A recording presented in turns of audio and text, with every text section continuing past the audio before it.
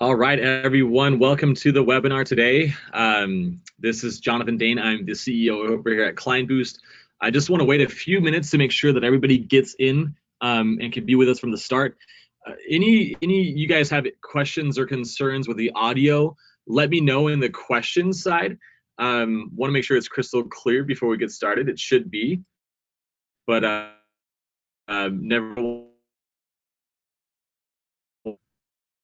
But perfect. Let's hang on a few more minutes.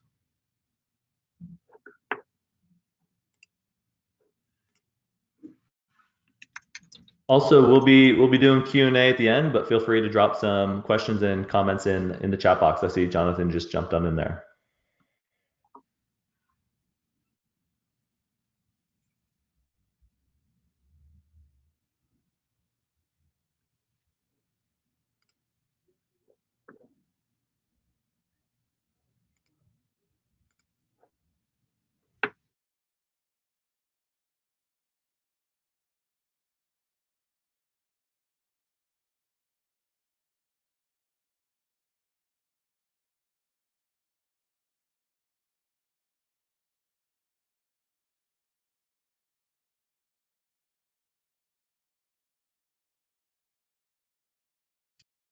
All right, super, super cool. Thanks for saying that, Casey. Um, so today we're going to go over some um, unused e-commerce acquisition and fulfillment tactics.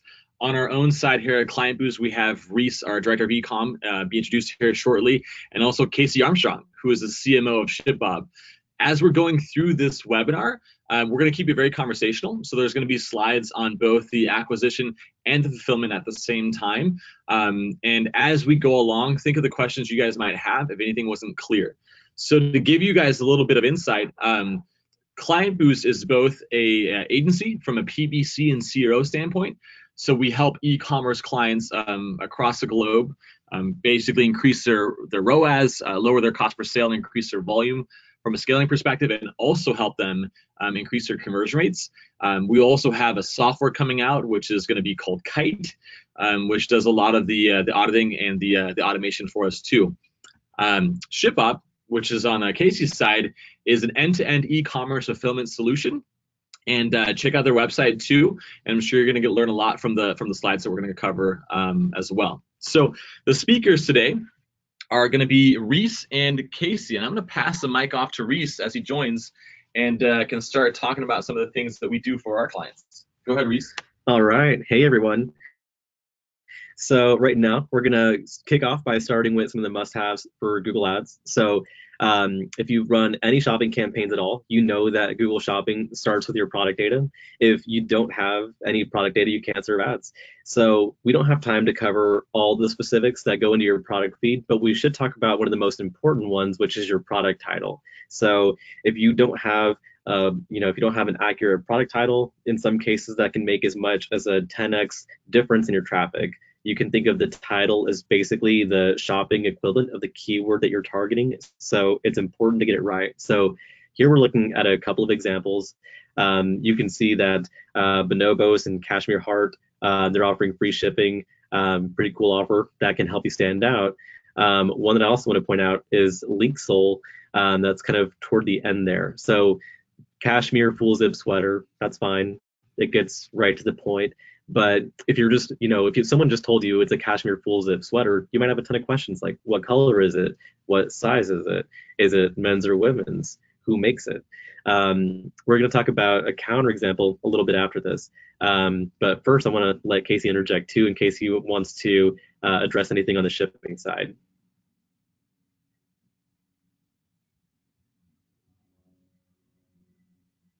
Sorry, I was uh, I didn't realize I was muted. If you want to go up a slide really quickly. Yeah. Uh, oh, sorry, back. back.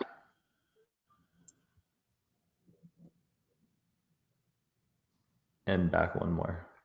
So, some, so some, yeah, back one more where your bullet points are. So, some, so something I oh. call out here is is analyzing. Uh, no, yeah, here we go. Analyzing your competitor pricing and you know things such as your shipping uh, so when I was when I was running uh, helping run a company called Watchmaster, something we kept a very close eye on was how can we offer pricing differentiation? And because we were uploading we were really maxing out the Google Shopping API and and uploading and changing pricing across multiple regions uh, multiple times a day and at least once a day. And we, we built this this pricing calculator that would look at uh, the purchase price that we paid for for certain items, uh, the margins that we had set at a minimum, what our total COGS were, and then we would we'd often try to undercut when we could our competitor pricing between one to five dollars. And so uh, that's something that really helped us stand out from Google Shopping, especially as it gets more and more competitive. Is, is how can you try to build some more automated way to differentiate? And then another thing is shipping too. So whether you're doing PPC or, or SEO or anything else, sometimes the the best tool is honestly just Googling it. What what are some of your best sellers? And get out there and, and search for those. And uh, and then Reese, if you want to go to the next slide, please. Um, as is as is highlighted on on here, you know, you can see free shipping, and so that's not something that everybody offers. Obviously, the two on the left, they have um, they have the schema to show the uh, to show the ratings. There's only there's only two that offer free shipping. There are a few that have the price drop, which uh, is also not always the best thing because it you know for a cashmere schedule, sweater that kind of signals more luxury, and so uh, the price drop is not always the best thing. But again, you don't know it until you try it. Um, and I guess uh, the one on the far right, again, Bonobos offers free shipping, but that's just something to you know really take into consideration. And, and you don't really know what the, your competitors are offering until, until you get out there and search. And then if you want to go to the next slide, please. Uh, I wanted to call out something that, that a customer of ours is doing, and, and they're doing quite well. Uh, you know, the CEO at I Love Plum was sharing some information the other day, and just by by offering the free day free two day shipping, um, without harming margins, not only did did they see an increase in their conversion rates, but through the confidence that they're exuding in that Amazon type experience to their customers, um, they were actually able to almost 2x their AOV. And so I'm sure you know Reese and, and all of you can dive into this and, and explain even more. But just as we think through as as channels become more and more saturated and and the cost per click and the CPA continue to rise uh, anything you can do to, of course, get repeat visitors, but even before that, increase that AOV is is huge. So I wanted to make sure I, we called that out. Yeah, that's an that's an awesome example, Casey. Um, yeah, I mean, I think you know offering two day shipping to double the AOV, that's you know it's hard to not call it a good play. Um, one, uh, I kind of want to go back to this one really quick. So just to kind of like bring this cashmere full zip sweater example back, um, I kind of want to show the good counter example to this now. So by contrast, we can see this Everlane one right here in the center, men's cashmere V-neck sweater by Everlane in heather gray, size medium. Um, you know, if you hear that, you can basically almost picture that sweater without even having to really see a picture of it. And so that's kind of what I defined as like the litmus test for a good product title because again um, you know when it comes to just acquiring the right visitor in the first place before you can even get to doubling your average order value um, hugely important to be very descriptive in your product title.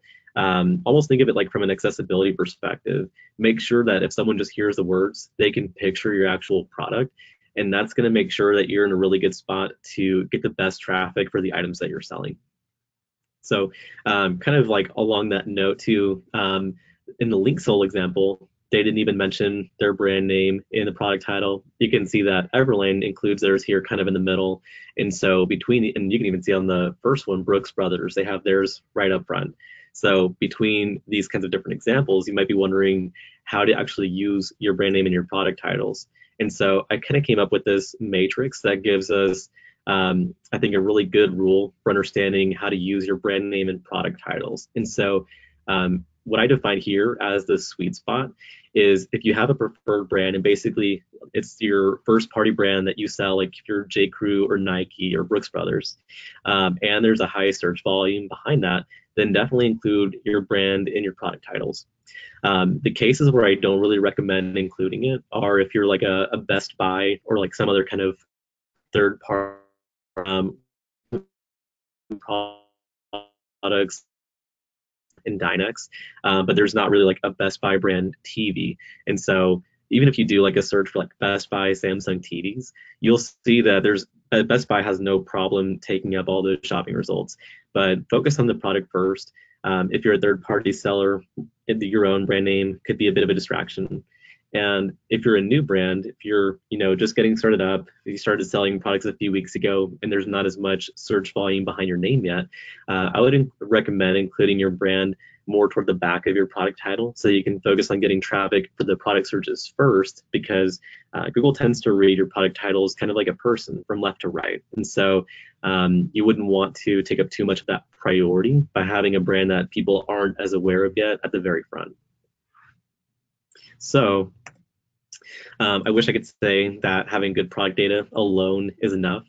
Um, if you've been running shopping ads for a while and you feel confident in the product titles that you do have set up and you feel like you know these are great people should know exactly what these products are just by seeing them but you're still not seeing the returns then you might be falling victim to something that i call the mob effect so the mob effect is exactly what it sounds like you're spending a ton of money and getting almost nothing in return from a you know entity that you don't really have like any control or sway over.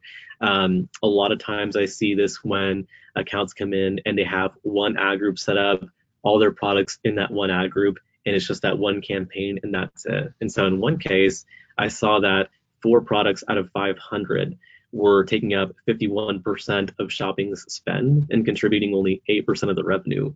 Um, that's that sucks. So I want to talk about a way that we've come up with to beat that. So um, I like to call it the gold pan technique. And I know I'm going kind of quickly. We got a ton of content to cover, so I'm talking a little bit quickly, but we will be sending out the recording afterwards. So don't worry about keeping up if you're trying to take notes. Um, the mob effect is basically a system where we use multiple shopping campaigns as opposed to just one. And we use negative keywords as a sort of filter to kind of mine for the gold nuggets. And so um, I want to kind of show a diagram of what that looks like before I get too much into the explanation of it. But basically, think of all the search terms that you could get for your shopping campaigns as kind of like this big flow, like represented by this cloud up at the very top. Because we can't target positive keywords in shopping like we do at search campaigns, we're pretty much entirely reliant on the traffic the feed gives us, which is why I was um, so uh, so animated about product titles earlier. And so, really, we kind of have to work backwards if we want to be intentional about the traffic that we get from shopping. And so, um, we found that the best way to do that is by using a negative keyword list of your best search terms. So, if you kind of fall into that brand sweet spot that we talked about a little bit earlier, um, these could be your brand terms. If you want to, like, if you're Nike and you want to distinguish between people searching for uh, Nike running shoes as opposed to regular running shoes, um, that would be like this filter that you use right here. So you could imagine, you know, all your traffic comes to right here. If someone has Nike in their search term, um, it's blocked from this campaign because of the negative list. So then it goes down to this lower priority campaign um, where you can actually bid on the gold nuggets, those Nike, those branded terms, whatever gets you your best performance. And the idea is that you bid lower in this generic campaign to improve your ROAS here and then you maximize traffic for those gold nuggets in this lower priority campaign here to maximize your revenue. Um, the thing that holds it all together, which is super important, is a shared budget. And so I know some people might ask, like, if we're doing this kind of multi-campaign setup, why wouldn't we just give a huge budget to the campaign that we want to capture all of our high ROI or high intent traffic? Um, I wish it were that simple, but think of it this way: if our high priority campaign ran out of budget, which it would first, since it's going to basically we're telling Google we want this campaign to run first. Um, if this campaign ran out of budget, where would all the other traffic go? It'd have to go somewhere, and the medium or low priority, high ROI campaign is the next best place where it would go. So having a shared budget just make sure that your system of campaigns stays in all the same options together and that one doesn't run out of budget, kind of rendering your gold pan useless. And so um, it's definitely a strategy that um, we're really pumped on over here at KlientBoost. Um, in some cases, we've seen as much as a 71% lift in revenue. You can even see in this analytics screenshot, the cost was actually down. So there was an improvement in return on ad spend there too. Um, and kind of a, a, way that we've been pushing the system lately, uh, question that's been on my we can best performing search terms, but what about our best performing products? And so we've actually been splitting this out into kind of multiple mini gold pans where we have campaign basically like gold pan structures just for um, most of our products products that happen to be on sale and then products that we have we know to be our top sellers based on analytics and other data uh, we you know why wouldn't we want to make sure that our top selling products are being able to show for best performing search terms so splitting out into these extra campaign segments has been kind of like a no-brainer for us and is something that I've been really excited as we've built it out over the last couple months.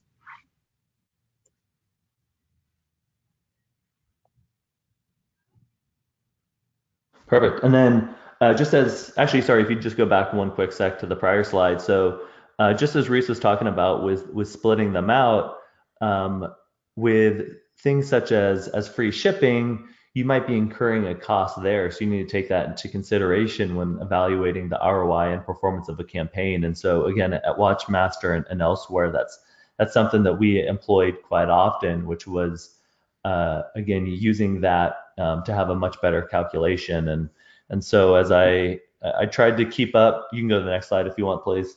Uh, I tried to keep up my my GIF game with the with the KlientBoost crew here. So I called it the the Veruca Salt effect. So for for those of you, and hopefully I'm not too much dating myself, the the the original Charlie and the Chocolate Factory, at least it's it's I want it now. And so if you go to the next slide, please.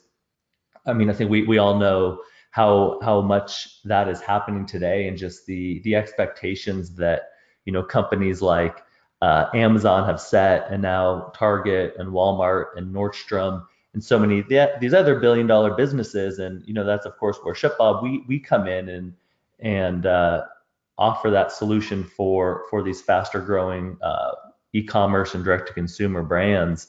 And just as uh, Francesca uh, Cavallo points out here, she's the the founder of Rebel Girls, which if you haven't checked that out, she has just an, an awesome an awesome book series, really empowering uh, younger women.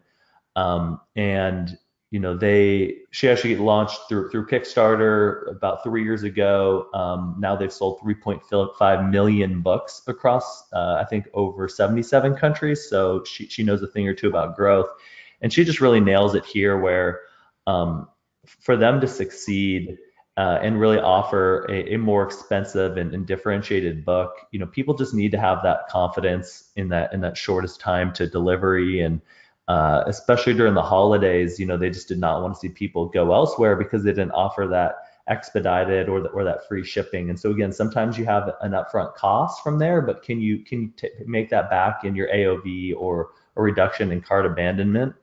Um, and uh, you know, not to belabor the point, but as I mentioned, it's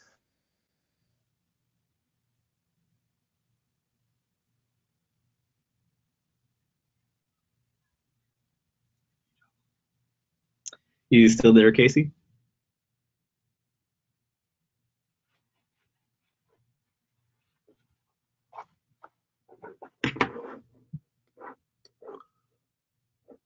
Let's see where Casey went. We're not sure. We're gonna keep going until we get you back, Casey.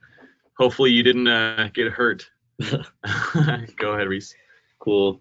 Um, yeah, actually, I, I do kind of want to pick up a little bit of uh, where Casey left off. I actually really like that he talked about um, the holidays uh, kind of coming up along those close shipping deadlines um, and fast shipping times.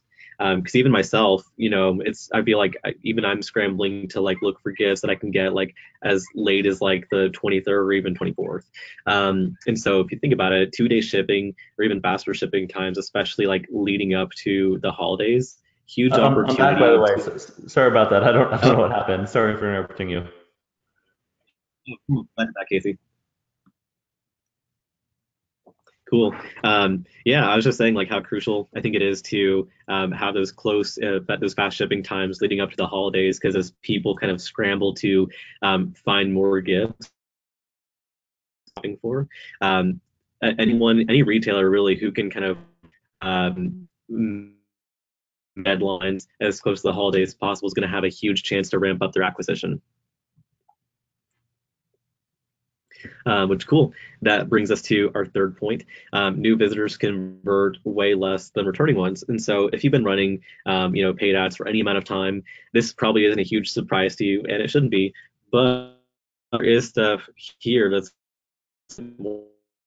want to just remarket like everyone else does. Um, there are so many retailers out there who are basically just having their like one remarketing campaign set up, probably a display remarketing campaign that's targeting um, all visitors, and they leave it at that.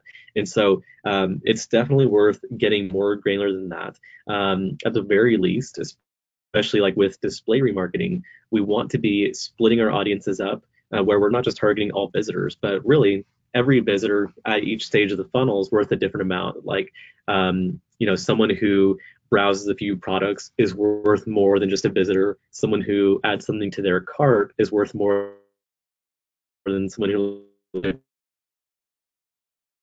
be able to split audiences in a display remarketing campaign, at least into different ad groups, um, and really bid on each of them uniquely because we want to distinguish between what their actual values are. Um, and I would say that's kind of just like the the first building block of it. Um, the next step is I highly recommend taking all of your web remarketing audiences and customer lists across all campaigns um, and applying those. Uh, basically, Google has two remarketing settings right now, which are targeting and observation. And so if you add by observation, basically just saying, hey, Google, just um, basically notice that all these people on my remarketing list are here in addition to the keywords or whatever else I'm targeting. And basically that, that allows you the opportunity to just collect data rather than having to actually create a separate campaign or set separate bids for people in your audiences.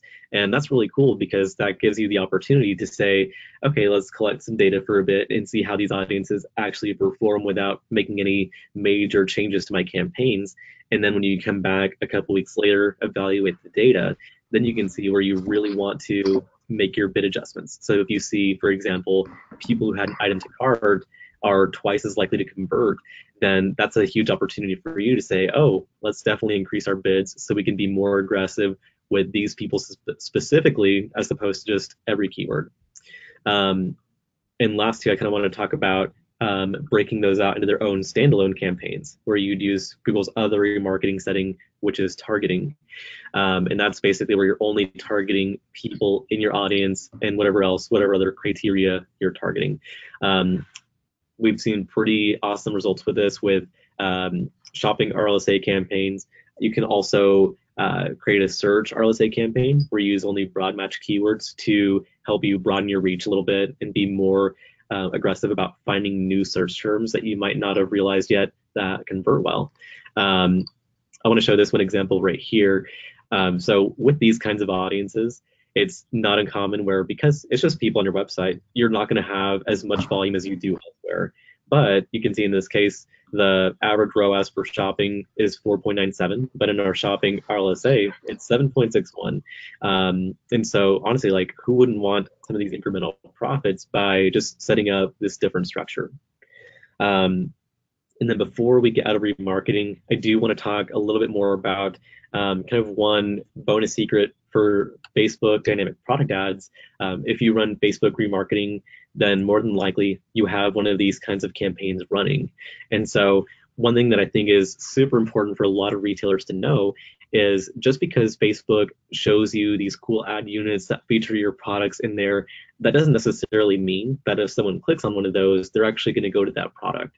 It's super misleading, but unless you actually um, apply this setting right here where it says deep link to website, um, if you don't add in your product URL right here, um, it's not going to take you to the product. So basically, the way that you get this, um, you would just type two left curly brackets and then product.url and then two right curly brackets to close it out. Otherwise, it's just going to take people to the default URL, which might be your home page or could be a collection page. Um, even if they click on an individual product. So definitely want to make sure you keep this little guy in there.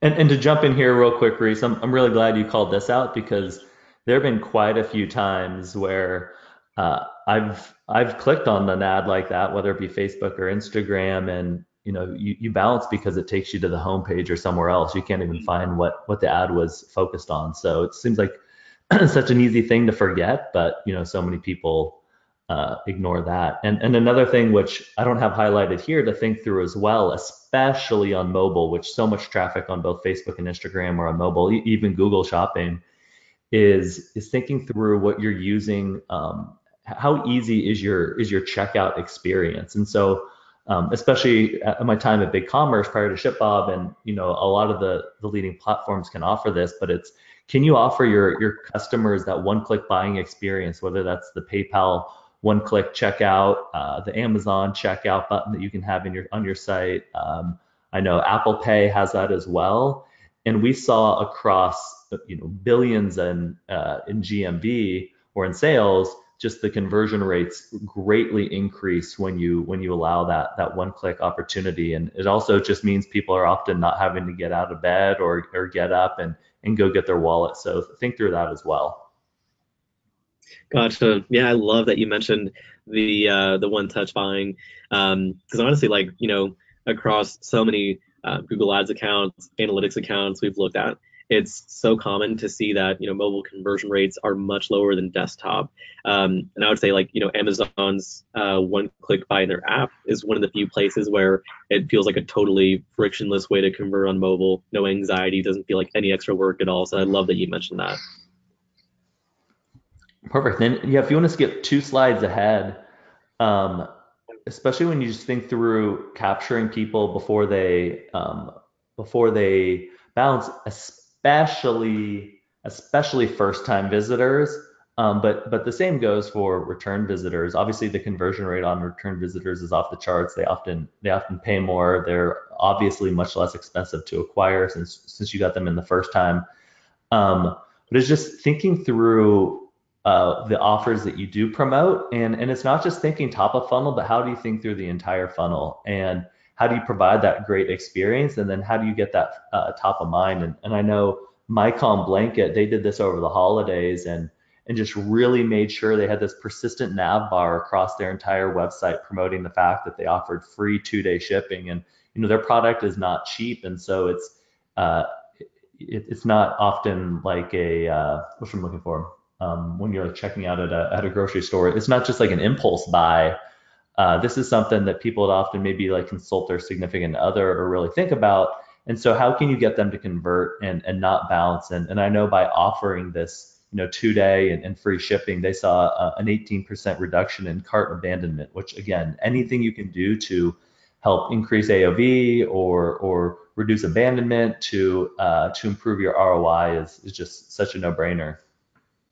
Yeah. And, you know, one thing I want to mention alongside this too um, you know, it's so important because like obviously if you see an 18% reduction in cart abandonment, that's going to reflect in your in your you know Google Ads results, for example, um, and that wouldn't even be the result of necessarily a campaign or targeting change, um, but you'll likely see you know improved conversion rates, probably improved return on ad spend if all other things remain consistent and you're reducing cart abandonments like that. And so, um, yeah, I definitely want to take this as an opportunity to mention how important these things work hand in hand and how, you know, really just the ad itself, getting someone to the site, um, that can kind of fall short if, you know, we're not offering compelling things that actually make things easy for the customer.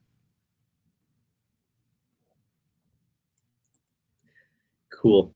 Um, and I also want to talk a little bit about our fourth uh, acquisition tactic, which is using dynamic search ads as a catch-all for all your products. And so um, I love these because honestly, like if you if you're especially if you're a larger retailer, if you have you know 5,000, 10,000, upwards of 25,000 products in your catalog, then who you know who realistically wants to take out the time or um, you know put themselves in a monastery for like six months while they build out individual keywords for all those products? Um, you know, in, in, a lot of ways, that's that's not necessary. It's not really the most efficient return on effort, and so um, in this case, having a dynamic search ads campaign can be a great catch-all for retailers with really large catalogs.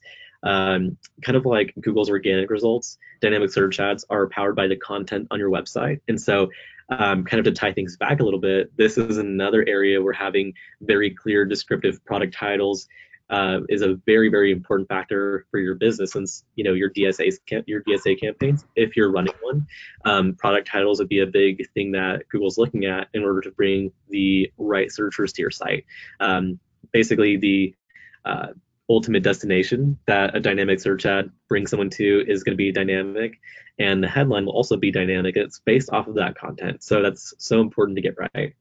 In these kinds of campaigns, um, depending on how your website's set up, I usually like is like page coverage and the great thing about these is that they don't, they're not really a, permanent solution, and we never really looked at them to be one. Um, but the idea here is to start with some lower bids, since targeting can be pretty broad, and you want to be aggressive about harvesting your dynamic search ads, search term data, and build your converters into new campaigns. So, you know, rather than going through this like crazy, huge, exhaustive effort to target keywords for every single product on the site, um, why not start with um, some top sellers or other high priority items first. Use a dy- dynamic search ads campaign to help you discover the next best converters. And then, really, you know, at that point, you're saving resources on not having to build so many things out, and you're getting data on what next things that you should target. Um, kind of like a shopping RLSA campaign the play here, you know, isn't really to blow volume out the water because we don't want to pay too much for clicks that we don't have as much control over. But again, in this case, um, if you if you go with a low bid route and kind of um, mind your search terms carefully, then DSA campaigns can be a source of good returns. Um, in this case, the ROAS from this DSA campaign is more than double the account average and not a huge amount of volume compared to the rest of the account. But again, who wouldn't want some of these incremental profits? And this kind of brings us to our second cool portion, uh, which is the must-haves for Facebook. And so um, one thing that we're really huge about is being sure to work the full funnel on Facebook. And I want to start this off by talking about something that might be like a, a little bit of a less conventional point of advice. And so um, I want to caution you here not to overspend on remarketing. And that might sound kind of odd if we're used to working in more of a Google Ads environment where, you know, let's maximize as much of our remarketing spend as possible. Um, just because, you know, if the, if the demand is there, let's fulfill it. So Facebook, on the other hand, is a little bit different there is uh, basically like our uh, audiences aren't as linear as they might be on Google. Um, and that's because Facebook has to actually find people in the newsfeed. And so if we set a high budget for something, they're going to try and exhaust that budget, even if our audience is a little bit smaller.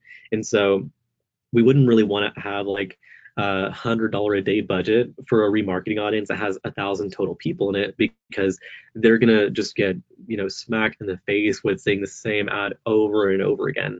Uh, we definitely don't want to do that to people who you know have a good chance of buying. We don't want to um, you know just overexpose those people, but we do want to be smart about cross selling to recent customers. So um, for example, if someone buys a phone case from you, um, you definitely should show them ads for uh, like a screen protector. Um, cross sells or upsells like that, um, those plays definitely make a lot of sense.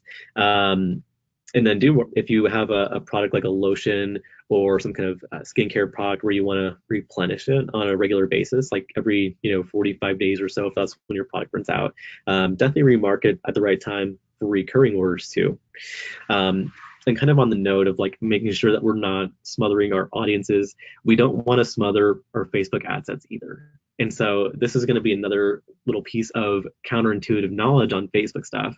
Um, but because Facebook has so much data about people that we can target, it's so tempting to want to use every little bit of that data and target people who, you know, have a behavior for shopping and they have uh, an interest in one of our competitors and they're between the ages of 35 and 40 and they're female. And before you know it, after adding all these different layers of targeting, you know, maybe we have like 5,000, 10,000 people in our audience. And we definitely don't want an audience that's going to be that small because you know after the week or so where you run that ad set where do you scale from there? How do you find more people like those people that worked if that ad set did work out? So um, i kind of want to play devil's advocate and say that that actually doesn't work most of the time anyway. And so in this example uh, we were actually um, running an initial campaign where we wanted to be intentional about the targeting. Um, there were uh, a couple of points of like uh, really specific interest data that the client was very interested in, and um, we weren't seeing really results that were um, in the ballpark that they were wanting to see. They wanted to see a below uh, five dollar CPA in this case, and so um, we got on a call. We kind of realigned things, and we talked about the advantages of running a broad ad set. And so this broad ad set is exactly how it sounds. Um, we actually don't use any interest targeting in this case. Um, we do make a couple of adjustments just for target or languages we want to target, um, a couple of other basic details. Uh, but the idea is not to overload interest targeting. And uh, basically, the idea is to let the Facebook pixel harvest all the data that it's already taking about people making purchases on your site and let it ride free basically to kind of correlate those data points with all the huge amounts of data it has about all of its users. And so in this case, when we did that, we actually started seeing a 50% lower cost per acquisition than what we were seeing uh, originally. And so um, really the moral of the story there is sometimes it's best to just let your ad sets ride free if you're not seeing results with lots of very intentional targeting.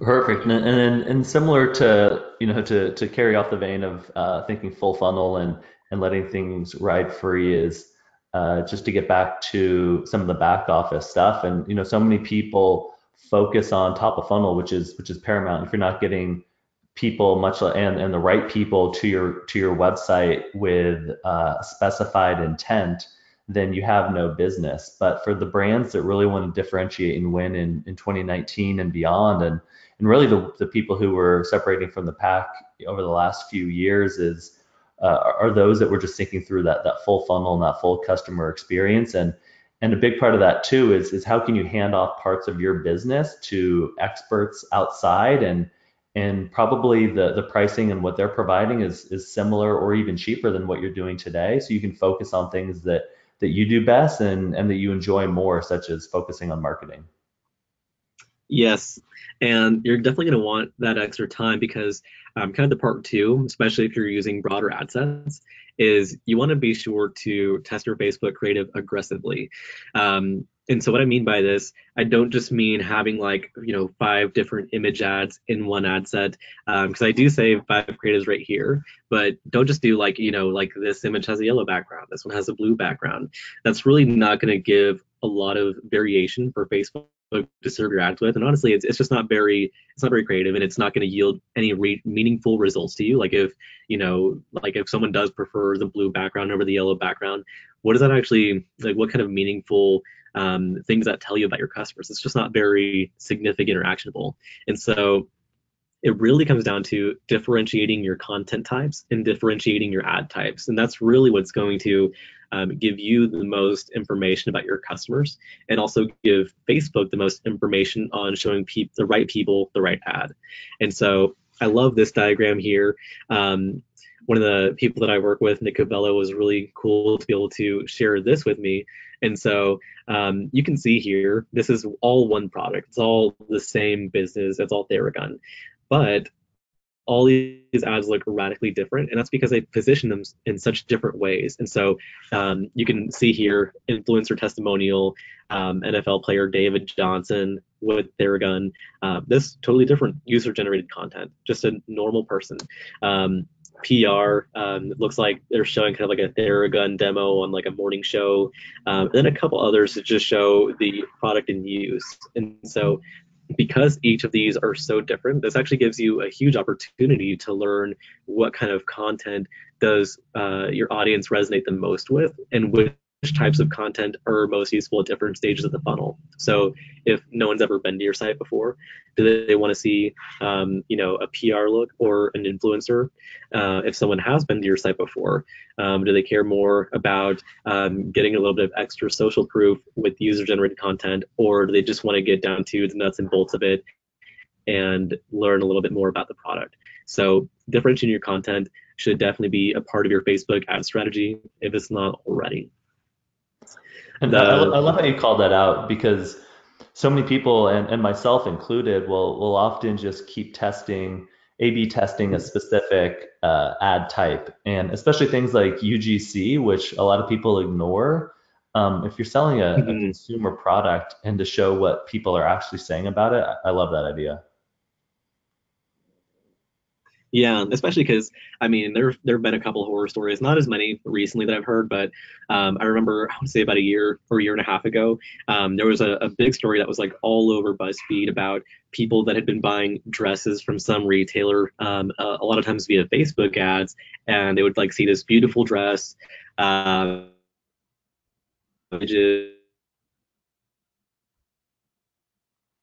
and they open it up you know, they realized that the the price they paid, they realized why it was actually a, a cheap dress. It was they were pretty low cost from what I remember, um, but basically did not look like what they were supposed to be buying. And I think episodes of that, um, you know, might give people a little extra anxiety. So the more you can actually show, you know, real people with your product, I think is a huge value for new customers. And this plays into the ad types that you use too. Um, and in this case, don't just use different ad types for the sake of it being a different ad type. It's not really going to be super useful to you if it's identical content just formatted differently. And so here, kind of really think about how each of these formats can give you an opportunity to um, you know, frame what you're telling a little bit differently or kind of make that content a bit richer. Um, one thing that I really want to point out too, um, sometimes people are, aren't as big a fan of this slideshow option. Um, and honestly, it, you know, if you're not a fan of it by default, I really want to encourage you to use it. Um, if you actually have data, you know, saying that it didn't work well for you, that's a different story. But um, you know, if you have a few images that at least showcase your products looking good, try the slideshow out because Facebook serves it as a video and in that case, you'll at least give yourself an opportunity to create a new type of remarketing audience where you can say, like, people who watched this slideshow video, let's remarket to them. And if you're looking for an extra foothold, that kind of gives you another layer to your funnel that you can work with. At the end of the day, you just definitely want to be sure you don't bore your audience. Um, I know, I think some people are probably wondering, like, what about frequency? Um, is frequency an important metric to pay attention to? Um, personally, I really think it depends um, on the results you're seeing. So if you're seeing that your ROAS has been declining over weeks, or like your cost per acquisition has been increasing over weeks, um, at that point, I would look to frequency as more of a diagnostic tool to see, you know, are are these things happening because people are getting overexposed to my ads, or they're getting bored? Um, and in that case, definitely look at frequency. But if you have a high frequency or what you define as a high frequency and your revenue keeps growing and your return on ad spend is still efficient, then don't worry about that as much just because what we really want to focus on is growing the business and growing profits. And, and great call on not boring your audience. If, if you go to the next example, so I was fortunate to actually actually speak, spoke to Matt yesterday and uh, they in a company called Bakblade, and uh, it's back shavers for men. It's it's pretty funny, and so they launched a few years ago, and uh, once they really started adopting this creative strategy and uh, showcasing what their product does in a more humorous way, they've just blown up. Um, they they'll be a an eight figure business this year. And as you can see here, just the uh, I think this has what 1.75 million views on on this ad, and a lot of that honestly came organic. They they got featured on Business Insider, their their original video, um, which then ended up driving uh, between that and a handful of other things, um, like tens of millions of views.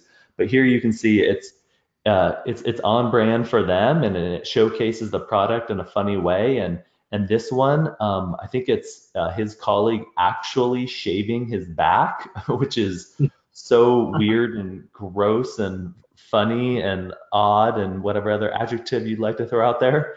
Um, and they have another one where it's a, a man and a woman um, talking to a marriage counselor. And and so again, it's it's video and video, but one's more kind of user generated, and the other one is more production. Whereas a, again, it's a, a husband and wife speaking to their therapist and and talking about how you know their biggest problems in their marriages is hairy back, and it and it shows uh, this ape that looks kind of like this bakblade logo in the bottom left, and again, it's you're they're still selling the the product, but doing it in a humorous way. And anytime you can do that, where people just start sharing your ad organically, I know that there have been quite a few ads that I've come across that are just pretty funny or just way too crazy and you have to share it. And just getting that lift you know that that's what it's all about. I know i know mizzen and main did something similar or uh, late last year with phil mickelson where he was just doing this like ridiculous dance um, in their in their ad. And fortunately that time when he was had his shenanigans on the golf course where i think he picked up a putt um, so anyways, uh, you can't always time it like that, but just thinking through like how can you do this in a more humorous way? I mean, we're inundated with ads, and how can you add that element of storytelling and um, and, and humor? Yeah, I love that. I mean, I I totally agree. I think the storytelling aspect is huge because people are so much likelier to remember a story that they have an emotional response to. And so, I mean, if especially if people haven't heard of you just getting someone who you actually are on their way to buying something from you that's kind of half the battle because how, how are you going to you know make sure to actually like check out their website look at their product if you can't even remember them five minutes later And that brings us to our seventh and last point, um, hacks to integrate your acquisition and fulfillment. And so um, I know you have a couple things coming up here, Casey. So um, I'm going to pass the mic to you. Perfect. Yeah, if you want to go to the next slide. Um, again, this is just thinking through. Uh, I mean, I'm not going to lie, especially somebody who uh, gravitates more towards the marketing and growth and sales side. The logistics and fulfillment and shipping, it's it's it's a pain, and it, it's often you know the quote unquote boring part of the business, and it's not something people want to think about, but it can really change your business. And so thinking about you know, if, if you do use somebody like us or or another third party logistics platform to distribute your inventory and taking you know very important things into consideration such as what is what is their footprint and how can you get the products to the customer as fast as possible so as you can see here uh, with steve the ceo over at brummel uh, and he'd never launched he'd never even ran an e-commerce store as of 15 months ago and, and he sold tens of thousands of products and since he sells these dress socks for men unsurprisingly he saw a huge percentage of his of his order volume coming from you know the financial capital of the U.S. and in New York, and so uh, all of his stuff was also fortunately in Chicago prior to that, which is another huge financial hub, and so he was he was able to get everything over to New York, which which not only reduced his uh, shipping costs but also improved the shipping time, which then of course improved NPS and repeat customers. And then and then from there you know he was looking at it and he's like okay well los angeles san francisco a handful of other areas how can i get closer to them and make it either cheaper for me cheaper for my customers and improve the um, improve the customer experience as well? Then if you go to the next map and again i won't i won't or the next uh, picture which uh, or slide that has a map um, you know i won't get into the the nitty gritty of of fulfillment and shipping here but uh, this is just a good example, similar to what I touched on earlier, where um, the way that your shipping costs and time are calculated are based off of your shipping zone. And in the example on the left, this is if you're based in if you're based in LA and you're shipping everything out of LA, you can see when it gets starts to get to the dark orange and the dark red, that shows not just uh, an increase in time to delivery, but also an increase in costs. And when you're able to distribute your inventory in the example on the left, and in this example, it's San Francisco and, and Dallas and New York, uh, only in a couple pockets. It's really in um, the north of like North Dakota, where the population is pretty small, and, and then really the only place you're really impacted here would be Miami in the uh, in the southeast. You're able to get everywhere pretty much between shipping zone five and below, and the, the amount that you'll spend on shipping and the time to get to the customer is just greatly reduced. And then also using this too when you think of, or how am I going to distribute the inventory? And then how am I going to geo target my ads? And so there is a, uh, a baby toy company that we were speaking to the other day, and they have these little like plush sharks. And unsurprisingly, those sell much greater on the coast and they sell very few in middle America. And so they should distribute that accordingly. Whereas um, if they have uh, different products that um, that maybe skew towards certain pockets in, in Middle America, they can they can distribute that in, in Dallas or, or elsewhere. Awesome. Yeah, and I'll talk a little bit too, just a couple of tips on how you can kind of integrate your campaigns um, alongside that. So, um, you know, if you are um, you know whether you have um, you know just like one major fulfillment center or you have a few across a few different time zones one thing that you can do on the campaign side to kind of help you um, steer away from higher costs if it's a further shipping zone um, or even in your copy to kind of promise faster shipping times you can segment your campaigns by fulfillment locations. And so um, basically you can align these with wherever your fulfillment centers happen to be, and then have separate campaigns for uh, you know any areas where you might have customers but are further out. And so for your campaigns that are going to be really close to those uh, fulfillment centers, you can advertise you know whatever your standard shipping is there, um, whether it's next day or two day. Um, you know you can use that to definitely punch up your copy a little bit and if you have lower shipping costs closer to vendors, then that also more uh, wiggle more aggressively in those locations as opposed to you know if your shipping cost goes up um, 5x because it's on the other side of the country from where you typically fulfill orders out of uh, you probably don't want to spend as much on a click out there if conversion rates are consistent because that's still going to cost you more on the back end.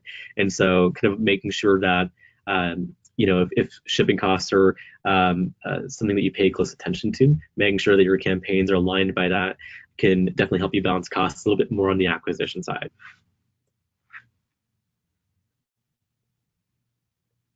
And uh, I think that's pretty much everything that we have. So I think we'll take questions for a few minutes.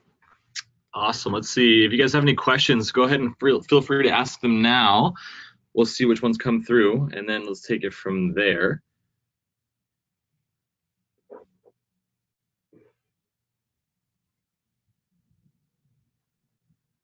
I have a question for you guys.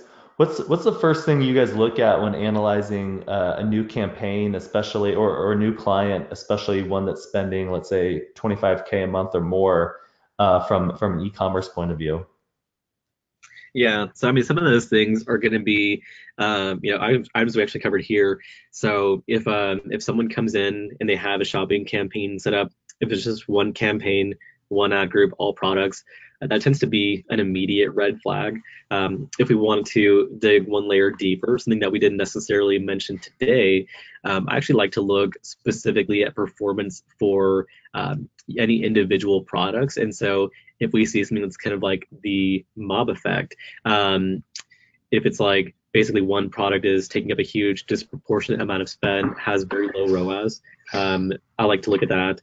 And um, also too, like sometimes um, you do see like those big differences in conversion rate by device that we talked about. So that's a big one too.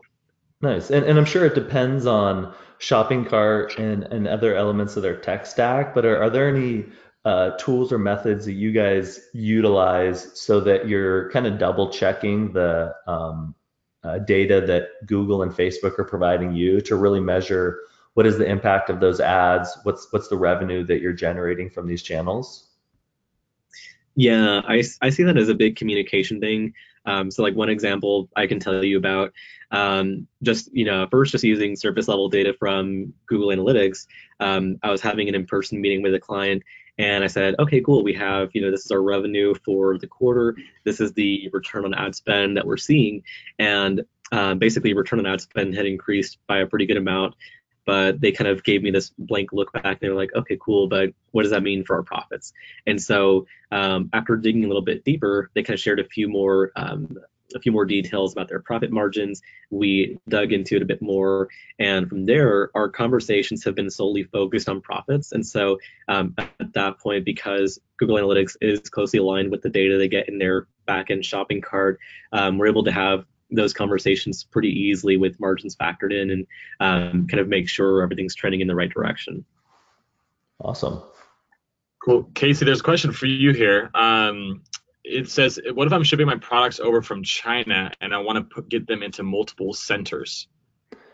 Yeah, great question. So that happens often and uh, actually more often than not where people are kind of wondering, well, I'm just drop shipping from over in China and it's, it's not ideal because uh, it takes whatever 7 10 14 days to get there and kind of comes in some kind of funky packaging um, but with with this example you know you can ship it directly like let's say you utilize a ShipBob or, or something similar you can just ship it directly from from the warehouse and then we take care of all of that on on your behalf and depending on what you use, whether that be Shopify, BigCommerce, uh, WooCommerce, you know, it will it'll sync directly with uh, your e-commerce platform. Cool, cool. Um, on on that note too, I have another one. It says, "What if we what if we put my inventory in one or two locations, but the buyers I attract changes over time and they do not live close?"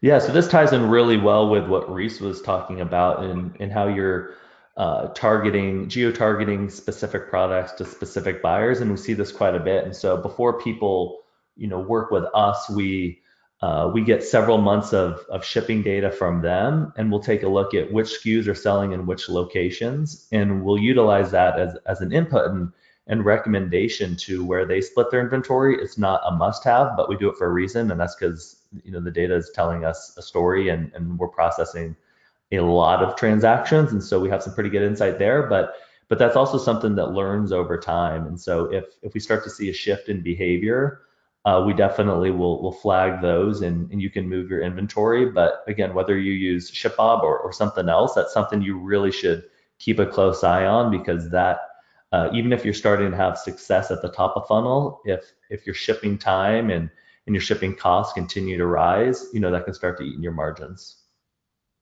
Okay, cool. Um, question here from Philippe. It says, "Are you guys using the new Google Shopping Smart campaign, you know, versus the query level bidding strategy? What are your thoughts on that?" Mm, yeah, that's a good question. Um, we have experimented with smart shopping campaigns uh, across a, a pretty good number of accounts, and so the thing about smart shopping and really any other smart campaign or even smart bidding strategy, it's really only as smart as the data you feed it. By itself, it's kind of dumb.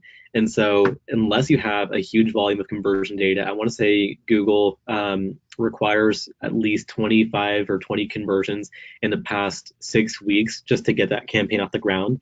Um, and they recommend having um, 50 or more conversions in a month in order to be able to use smart shopping because basically all that conversion data is going to guide um, who the smart shopping ads are served to. And one note about those is that unlike regular shopping campaigns, smart shopping doesn't just exist on search. It's on display, it's on YouTube, it's basically on any Google owned property. And so um, we have seen in a few cases where a smart shopping campaign will take off pretty aggressively in the beginning. And um, at first, I was like, man, this is going to change everything. And then a few weeks later, um, it just kind of peters out. ROAS starts to dwindle, fewer and fewer purchases happen. And this is even in accounts where you know, we're not just seeing 50 conversions per month, but um, this happened one that I can remember where there were 180 transactions per week happening. And after about a month, the smart shopping campaign ended up um, just kind of burning out. Um, for anyone who wants to run smart shopping campaigns, one other little um, note I'll throw in there is, um, especially if you, have, if you have a lot of revenue coming through shopping, um, don't just turn smart shopping on and wait to see what happens. Start off with a smaller subset of products because there is a good chance that the smart shopping might take over your existing traffic from your other shopping campaigns. Cool. And this this question from uh, Christina that we have kind of plays into that too. Says, since shopping campaigns are not based on keywords, would you ever recommend creating different product feeds that include top of funnel versus bottom funnel search terms to capture more traffic? I feel like I I don't know if I know the answer. I'm not. I'm. I'm not going to step on your feet here. Go. Go ahead and answer that one, Reese. Um, uh, I would not recommend that. Um, I would recommend basically just having one feed that's as complete as possible. Um, and really, like if if it's a matter of just where to allocate resources, start with the product title. Um, and in this case, it's because one product titles aren't really a place where you want to include like any promotional or sales kind of copy. You really do just want to describe the product specifically and accurately to make sure you're getting the right kind of traffic. Um, and also the, the Google Merchant Center doesn't really provide a very clean functionality for distinguishing between two different feeds. Um, normally there might be like one that takes over one set of products and another that takes over a different set. So um, you know you can split test your product titles um, or make updates to them and kind of measure any changes in conversion rates on those specific products. But I wouldn't recommend two feeds. Cool. Um, and if you guys have asked if if you guys relate to the actual recording, um, I just answered my own question. There is a recording. We will send it out as soon as this is done. You should get an automatic email from GoToWebinar. Um, there's another question here from um, Raj Deep. It says, do you have clients who are moving in e-commerce domain from traditional brick and mortar? What do you consider in those cases for e-commerce marketing strategies? I will like for, for myself, this is Jonathan here. Um, most of the clients that touch and, and find their way to us already have some sort of presence um, and usually have some little bit level of traction at the at the minimum. Um, so it doesn't really change like our best practices from when we would start off. It's the same thing we do when we audit an account, even if they've been running, you know, on on digital for years. Um, so there's not much that changes from what you've seen Reese go over today. Yeah. We asked that question again. It says, do you have clients who are moving into the e-commerce domain from traditional brick and mortar? What do you consider in those cases for e-commerce marketing strategies? Ah, uh, okay, I see. I think I misheard it. Cool. yeah. Um, cool. I uh, I don't think there's any more questions here. Um, and we are just timing wise at a perfect stop mark. Um, we'll send a follow up and recording for everybody here who's on the web. Thanks so much